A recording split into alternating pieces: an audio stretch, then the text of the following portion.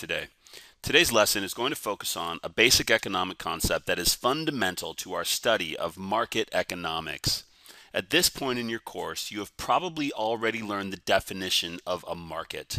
A market is simply a place where buyers and sellers meet to engage in mutually beneficial exchanges with one another. In a market economy, there are two fundamental types of markets that must exist in order for mutually beneficial exchanges to occur. A market economy is one in which households and firms engage in exchanges in both resource markets and in product markets that benefit both the firms and the households themselves. So this video lesson is going to illustrate the flow of goods, services, land, labor, capital, and money in a market economy between households and firms and seek to understand how individuals stand to benefit from the trades that take place in a market economy. So let's start off with a couple of definitions here. First, let's look at the household side of our graph, we see that households possess three scarce resources. Now, you'll recall from a previous lesson that something is scarce when it is both desired and limited in supply. In the case of land, labor, and capital, these are all resources that exist in finite amounts in the world. Land resources are those that can be used to grow crops, to mine minerals, to catch fish, to log forests. All of the land resources, these are the natural resources that are used to produce goods and services that we like to consume. Labor, of course, that's just human resources. This is any input into the production of a good or service that involves workers. We're talking about factory workers, we're talking about high skilled workers, educated people, and uneducated. Anybody who adds to the production of something is considered labor. Capital, this is the technology that is used to produce goods. I put a computer here because I'm a teacher. And in fact, in the production of this very video lesson, the capital resource that I'm using is a computer.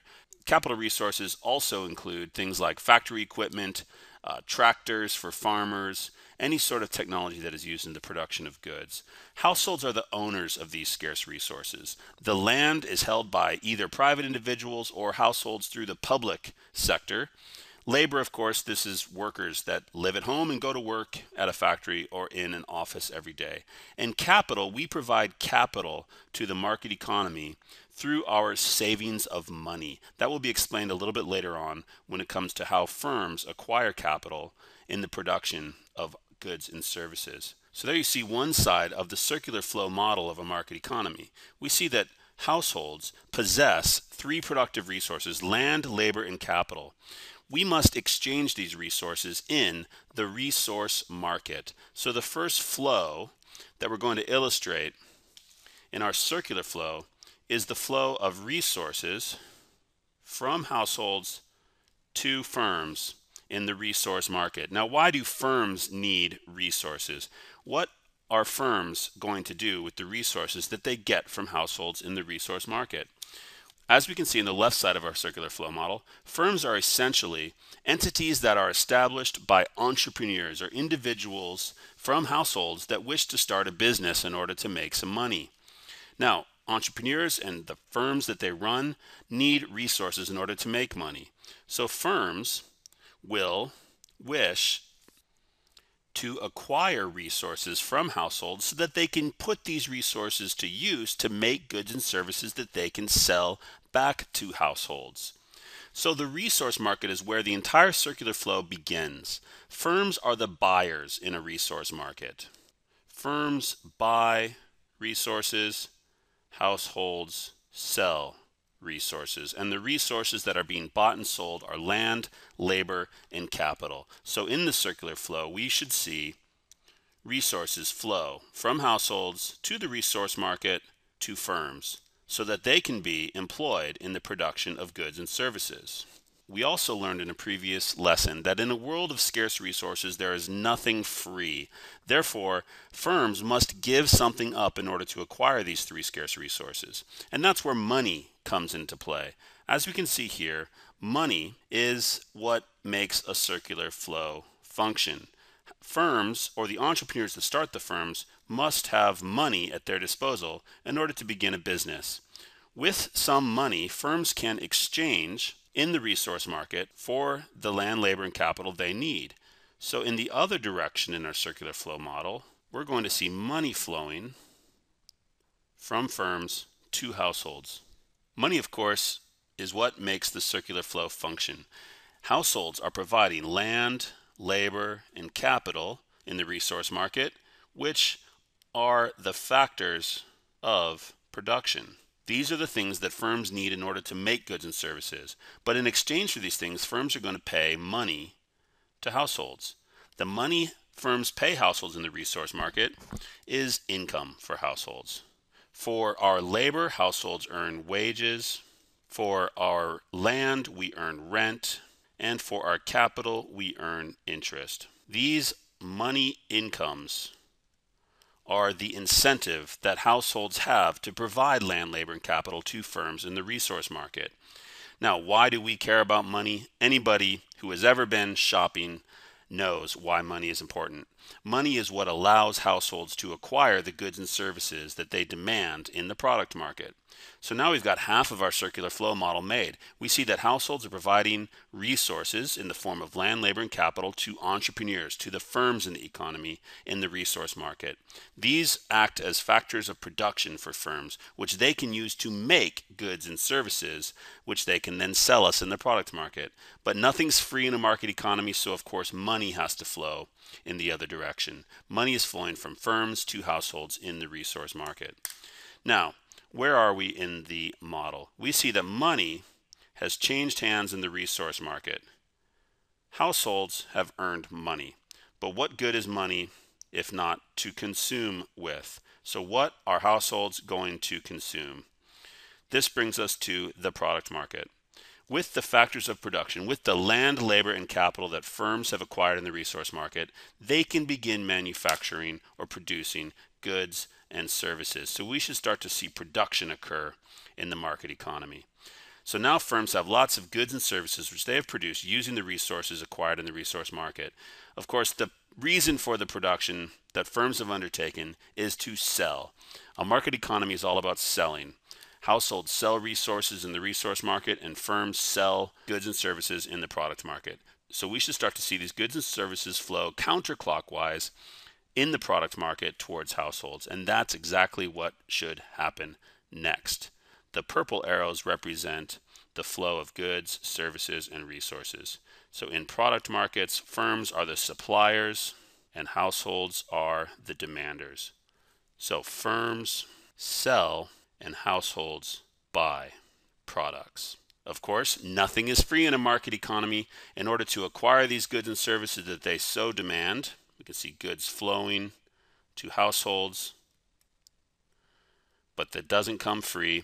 Money must change hands. Money must flow clockwise from households to firms so that firms are earning the profits that they so desperately seek.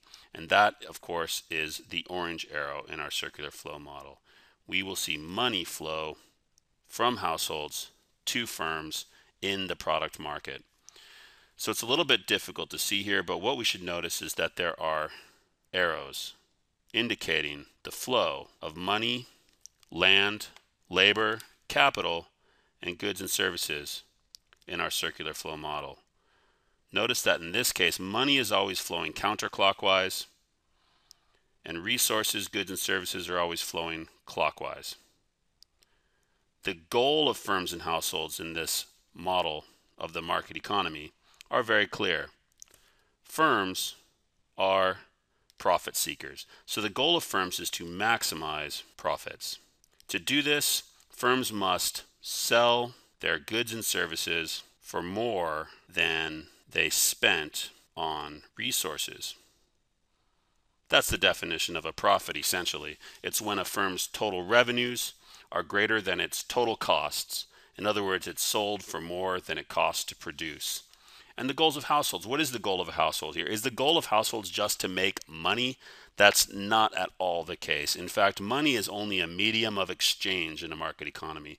The goal of households is to maximize utility. You may be unfamiliar with this word utility, but it has a simple definition in economics, and that is happiness.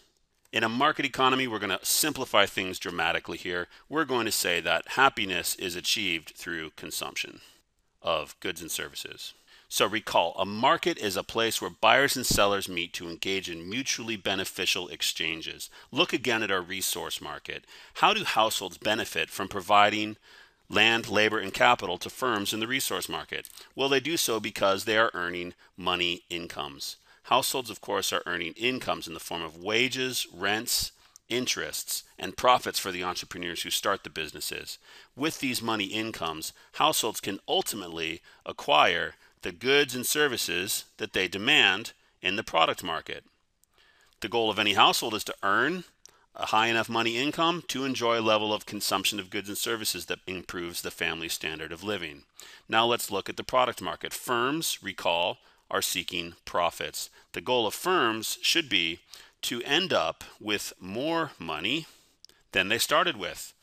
Firms sell their goods and services that they produced using the resources acquired in the resource market back to households, hopefully for a profit, earning greater revenues than the firms incurred in costs.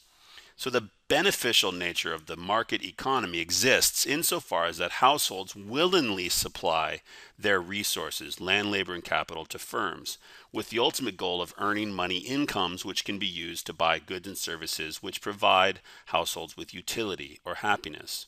Firms, on the other hand, willingly provide goods and services to households in exchange for the money that they previously had paid those households in the resource markets. The goals are to maximize profits and to maximize utility. This is the essential nature of a market economy. Without these incentives, without these goals of households and firms, a market economy would simply not function, and resource allocation would have to be undertaken by another mechanism altogether, such as government control or a command system of some sort. That wraps up this lesson. We will do future lessons on the market economy, including a macroeconomic model, which includes not just households and firms, but also the government and the banking sector.